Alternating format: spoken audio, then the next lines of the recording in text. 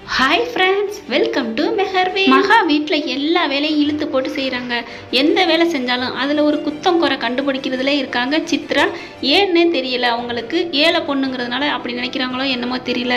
சோறு சமைச்சா அதில் உப்பு இல்லை சாம்பார் வச்சா அதில் காரம் இல்லை இப்படி எல்லாத்தையும் சொல்லிட்டே இருக்காங்க. ஆனால் மற்றவங்க எல்லாரும் சாப்பிட்டு பார்த்துட்டு நல்லா இருக்குன்னு தான் சொல்கிறாங்க இப்படி ஃபங்க்ஷனில் எல்லா வேலையும் இழுத்து போட்டு பார்த்ததால மகாவுக்கு ரொம்ப ஜுரம் வந்துடுது முடியாமல் வந்துடுறாங்க. நைட்டெல்லாம் ரொம்ப ஜுரத்தில் கிடக்கிறத பார்த்துட்டு நம்ம சூர்யா என்ன பண்ணுறாரு ஹெல்ப் பண்ணுறாங்க என்னம்மா பண்ணுது? முடியலையா? அப்படின்னு சொல்லி ஒத்தடம்லாம் வச்சு கொடுக்குறாங்க. குளிரில் நடுங்கிக்கிட்டு இருக்காங்க. அதனால போர்வை எடுத்து போத்தி விட்டு போகிறாங்க விடிஞ்சிருது. பாட்டி கேட்குறாங்க என்னடா இன்னும் மகா வரல? அப்படிங்கிறாங்க.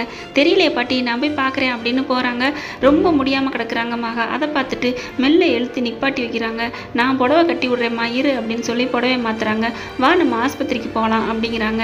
நமக்கு முடியாதோன்னே உடனே நமக்கு எப்படி பார்க்குறாங்க நம்ம புருஷன்? அப்படின்ட்டு அந்த ஜுரத்துலையும் ரசித்து பார்க்குறாங்க சூர்யாவை கீழே வந்த உடனே ஹாஸ்பிட்டல் கூப்பிட்டு போகிறேம்மா மகாவுக்கு முடியலை அப்படிங்கிறாரு சூர்யா. அவங்க அம்மா உடனே இருந்துட்டு நீ ஏன்டா போகணும்? நீ ஆஃபீஸ்க்கு போ. இங்கே வேற யாரையாவது கூட்டி கொண்டு போய் காமிச்சிட்டு வருவாங்க. அப்படிங்கிறாங்க.